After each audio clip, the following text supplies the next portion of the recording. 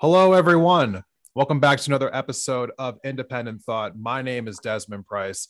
For today's episode, we have James Eichner, the co founder of Sana Packaging. James, how are you doing today? Thank you for coming on the show. I'm great. How about yourself? Good, good. Thank you for coming on today. You know, I I reached out uh, to you a couple months ago after I had done an episode of my podcast about you know just cannabis and climate change and how it you know how these things are kind of intertwined. And you kind of agreed to come on the podcast and talk about the hemp industry with me so i'm very appreciative of that. Uh, before we get into some of the like more like deep questions about the industry can you just tell us a little bit about what exactly you know like is your company and why did you decide to start it Absolutely. Um, so, Sana Packaging is a sustainable packaging brand that designs and develops cannabis packaging using plant based, reclaimed, and recycled materials. Our mission is to reduce the impact of single use packaging in the cannabis industry, and our vision is to ultimately transition cannabis packaging from a linear uh, take, make, dispose model towards a circular model that's meant to uh, eliminate waste and pollution, keep products and materials in use, and regenerate our natural systems. And in terms of uh, how and why we started the company, uh, my business partner Ron and I, we met in grad school at CU Boulder and uh, became friends, ended up taking a lot of classes together. And uh, one of the things we bonded over was we are both uh, passionate cannabis consumers. Uh, but one of the uh, large negative externalities that we saw the legal industry uh, which at the time was fairly new to Colorado. Um, we saw, you know, one of these big negative externalities was all the packaging waste being created by the industry. So we started just as frustrated consumers. Uh, neither of us had a background in packaging, but we were studying business, and uh, we thought it would be a fun idea to uh, do a class project that kind of explored cannabis packaging and why it was the way that it was. And as the, these things happen, uh, you know, it just kind of snowballed, and uh, here we are, five or six years later. Right, right. So I, I was fascinated by this because you know, like after hearing a little bit more about you know the hemp industry, because I've heard about hemp in the past, and as far as like all the different uses it has, and it, it's kind of mind-boggling all the different applications it can take. And so I was fascinated learning a little bit more about it. But you know, for you particularly as someone who is going into you know a business, why specifically hemp and not like another like plant-based material and could you specifically talk to also what are like plas yeah absolutely. So uh, at the very beginning uh, when we were starting sana packaging the the first thing we wanted to do was explore plant-based uh, alternatives to uh, petroleum-based plastics. And most uh, plant-based plastics out there are PLAs, which are uh, polylactic acids, and it's basically just a polymer like regular plastic, except that instead of being derived from petroleum, it's derived from a plant. Um, most PLA in the United States, however, is is derived from corn um, which is you know certainly better than petroleum, but given the way corn is monocropped and subsidized, um, we don't. Uh, it, it's not the most sustainable uh, crop, uh, especially the way we we cultivate it here in the United States. And so when we you know first started exploring these plant-based materials, we quickly realized that while pretty much everything available is PLA, and pretty much all PLA in the United States is is made from corn. So, is there a way we could reduce the amount of uh, corn that we're using? Uh, and that's kind of how we came upon hemp. Um, at the time, uh, hemp was uh, recently legalized in the state of Colorado um, and in a few other uh, states as well.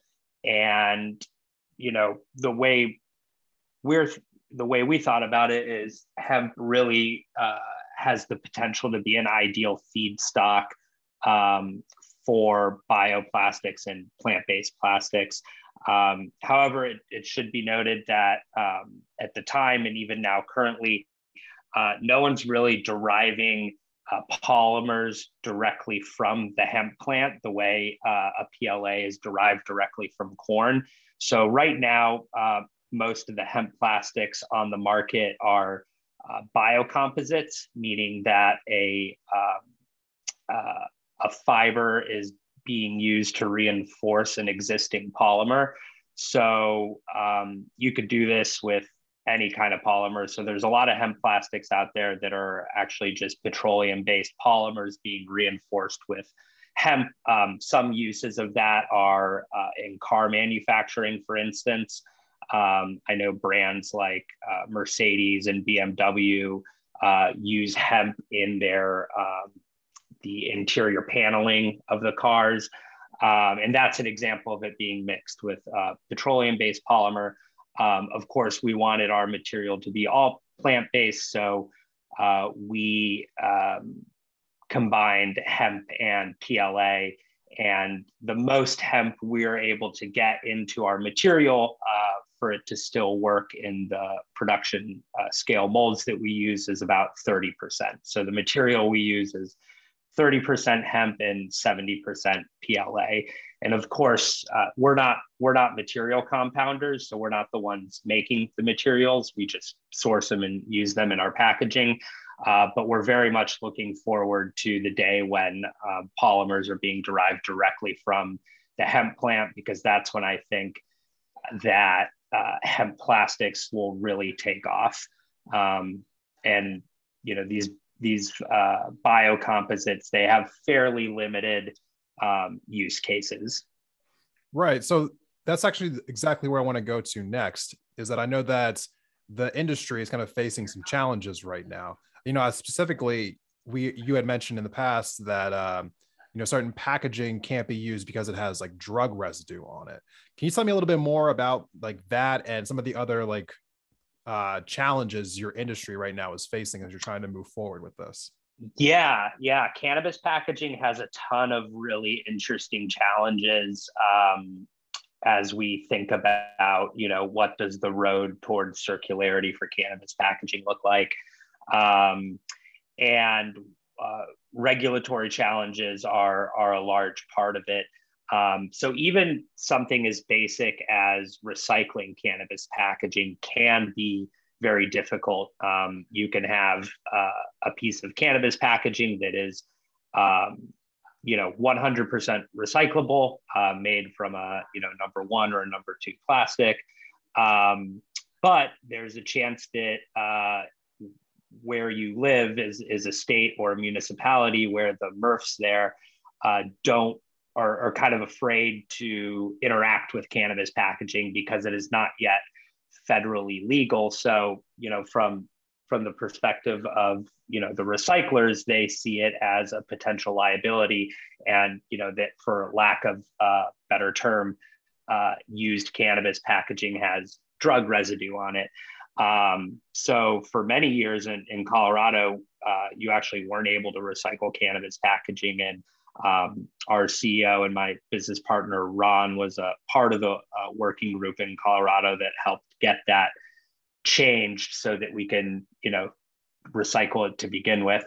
Um, so there's yeah, there's a ton of unique challenges like that.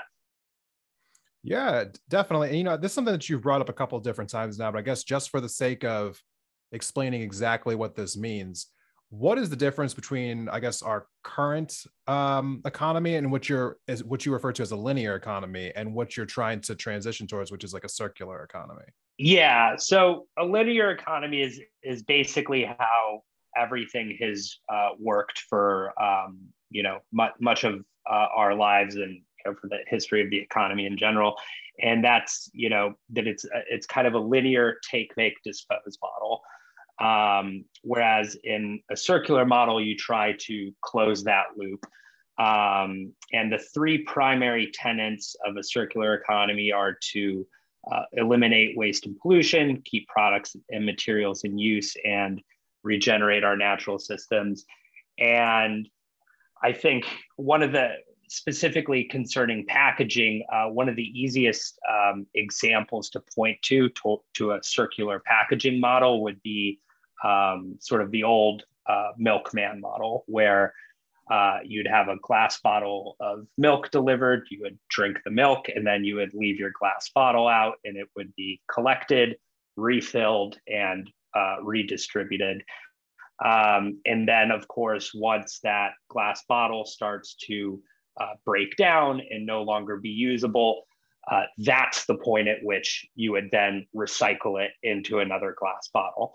So, you know, when we think about cannabis packaging, um, there really should be, you know, given that it's a lot of standard form factors, um, you know, there's really no reason why, in theory, uh, a model like that wouldn't make sense. That you should be able to keep, you know, collecting, cleaning, and reusing uh, a piece of packaging until it starts to break down. At which point, then you recycle it into uh, a new piece of packaging. Um, so that's kind of, I, I think, you know, probably one of the clearest and simplest ways to to explain it. Perfect. Thank you so much. And you know what? Uh, we're going to take a quick break, but before we come back, or when we come back, we're going to be talking about a couple more topics, including, you know, just exactly the environmental impact of this packaging. And it wouldn't be a political podcast if we weren't talking about how the government's involved in all of this. So we'll be right back after this quick break.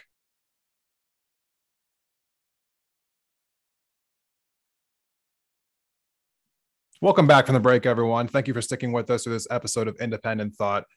So before the break, I kind of teased the fact that we had to talk a little bit more about, you know, the government, sustainability, you know, things that are vital topics, you know, when we talk about political discourse as far as as well as, you know, things that I've just touched on recently with this podcast. But, you know, first I want to touch on environmental impact you know what exactly is the environmental impact of your product? And is that something that you are taking into account when you are thinking about you know packaging in general?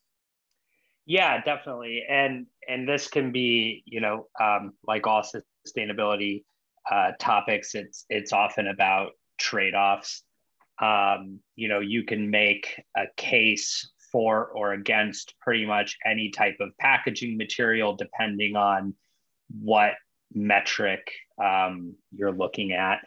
Um, so, you know, we specifically work primarily with um, plant based hemp plastic as well as a variety of ocean bound and reclaimed ocean plastics. And before getting into you know the the specific uh, impact we've been able to have, I feel like it's always really important to preface um, anything that we say like uh, you know around the positive impact that we've been able to have by uh, saying that you know we by no means uh, believe that we have put out a, a silver bullet or uh, a perfect solution. It's it's all about these incremental steps uh, towards circularity and we, and we still have um, a long ways to go.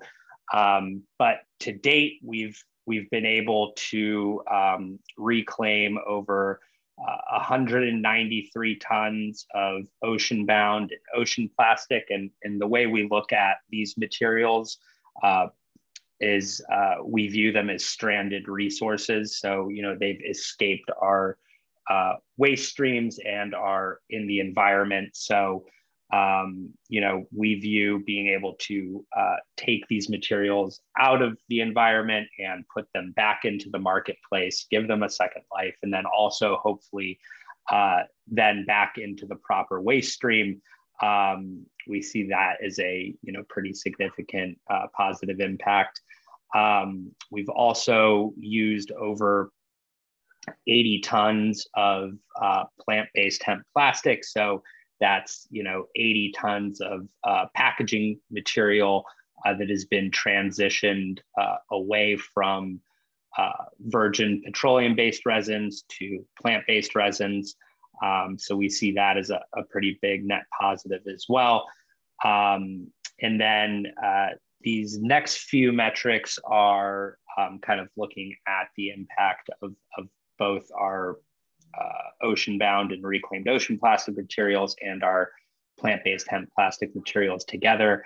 Uh, but we've been able to uh, sequester or avoid uh, more than 222 tons of carbon. And we've also been able to save over uh, 958,000 kilowatt hours of energy.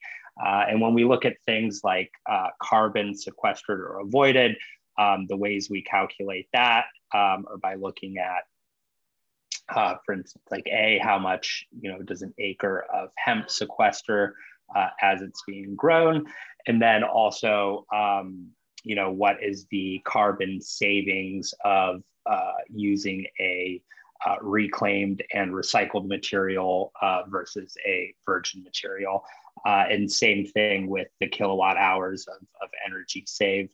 Um, another thing that we don't have, um, you know, specific metrics on, but is kind of core to our ethos is the localization of packaging. Yeah. Um, so all of our packaging is uh, manufactured domestically. Uh, our supply chains are predominantly uh, North American, and while we don't have specific metrics around this, you know, we do believe uh, in, you know, for instance, if if we were expanding into Europe, let's say, if if we were selling uh, the packaging that we produce here in the United States in Europe, uh, I think it'd be fair to say that pretty much all of the sustainability benefits of our packaging would be lost the second we ship it overseas, uh, just from a carbon perspective. So, um, you know, we have different uh, regionalized manufacturers across the country that we use. Um, and if and when we do expand to you know another continent it would be kind of core to our business belief that um, we would have to localize the um, production and supply chains of uh, those products in those regions. Right. You know that's actually you know something that i, I want to kind of pivot off of right now because you know so often when we're having this conversation I, I think like right now as far as uh, just businesses you know having more of a i guess like an environmental like impact on the planet and you know like their i guess their role you would say in helping the planet you know be more sustainable. We are seeing so much i guess like devastation come at the hands of like like major forms of capitalism. What mm-hmm. you are talking about right now is being more environmentally conscious as you are growing your business which there are a lot of people believe that just that can't happen in our current economy. Tell me like why was that so important to you to kind of like maintain you know this level of i guess you would say integrity as you're expanding your company? Um i mean i guess um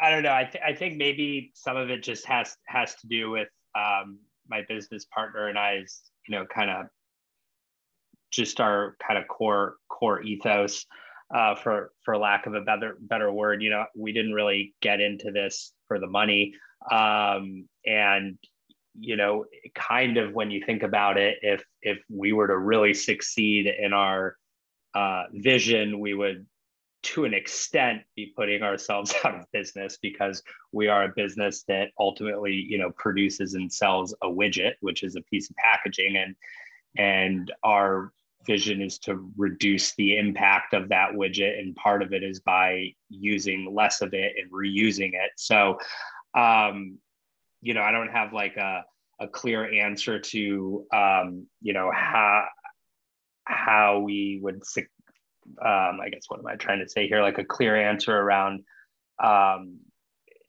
it's a it's an ever evolving business model um, and I think that if we know that we want to be part of the solution, we'll, we'll figure out how to uh, keep ourselves afloat and profitable uh, by by doing that. Um, but it, it, it was interesting to you know hear you say like you know that so many of these sustainability issues that we're in it's like how do you kind of reconcile that with um, you know being a scaling company and and one of the things I think about a lot is, um, you know, the whole idea of uh, producer responsibility and consumer responsibility. And I just remember being absolutely shocked when, because um, you you hear you know you hear folks all the time talk about you know well what's your you know personal carbon footprint? Or like what are things you can do to reduce your carbon footprint as as an individual? Um, and I was shocked to learn that the whole idea of consumer responsibility was uh, basically invented by uh, oil and gas in the 80s as kind of a way to deflect uh, responsibility from the oil and gas industry onto the consumer. So um, I believe it, it, was either Shell or kind of British Petroleum, one of those two that did the first big um, consumer responsibility campaign, uh, kind of putting all that responsibility onto the individual. Um, and you know, we're just firm believers in producer responsibility because you know there's there's a ton of reasons why it's unfair to put that responsibility onto the individual. And, and i think with things like sustainability it often comes down to you know price points so like if you're thinking of groceries or something right? Like not everyone can afford to buy organic. Um, and so from that standpoint, well, it's kind of unfair then that the sustainable choice when grocery shopping is not financially available to everyone that's grocery shopping. And you can kind of apply that thinking to, you know, uh, all different industries. And I think the only real solution to that problem is to, you know, not have the worst alternative to begin with. Um, and yeah, so I, I do think that um, even though some of these things uh, are a result of uh, big business, uh, I also think that big business taking responsibility is is probably the quickest and easiest way to, um, if not solve these problems, at least alleviate them uh, and you know get a lot of the way towards solving them. Okay, so here's my final question for you. You know, what exactly, you know, could the US government be doing to help this industry as far as allowing it to advance further? By this industry, do you mean uh, hemp specifically or hemp and cannabis or kind of both? Both. Both. Um, yeah, I, I think uh, when thinking about um, industrial hemp um, and hemp as an input for industrial goods, um, I think hemp should be subsidized. Um, and I think that corn should not.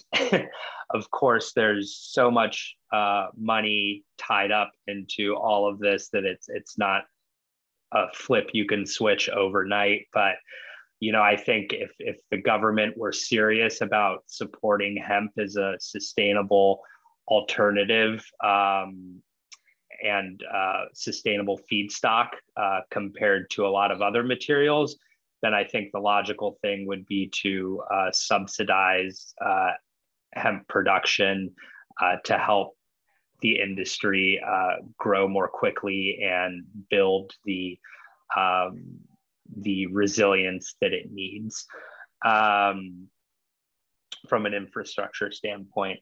And then with cannabis, I mean, it's cannabis is also a tough one. Um, I think from a from a packaging perspective, um, and this is more on you know because cannabis now is kind of a state by state issue. It's not really a, a federal thing yet. Um, but one thing that all state markets have in common is the uh, child resistance requirements for cannabis packaging, which um, can make it very hard to use uh, more sustainable materials, uh, just given the, the complexity associated with the locking mechanisms, et cetera.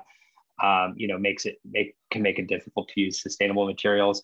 Uh, and a recent study that came out of um, McGill University in Canada showed that if uh, the cannabis industry got rid of child resistance requirements for non activated products. So, here it's important to distinguish between activated and non activated products.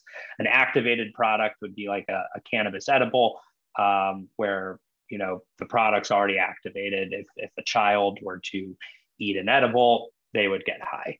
Um, but uh, non-activated products are um, like just cannabis flower or a pre-roll. Uh, you know, if if a child were to eat uh, a nug of weed, uh, guess what? Nothing's going to happen uh, other than they'll just have a bunch of you know plant material in their mouths um, that probably doesn't taste really good. Uh, but it poses no danger. Um, and so this study showed that if the industry got rid of uh, child resistance requirements for non-activated products, so things like flower and pre-rolls, that the industry could reduce its packaging waste by upwards of 75%, which is astounding.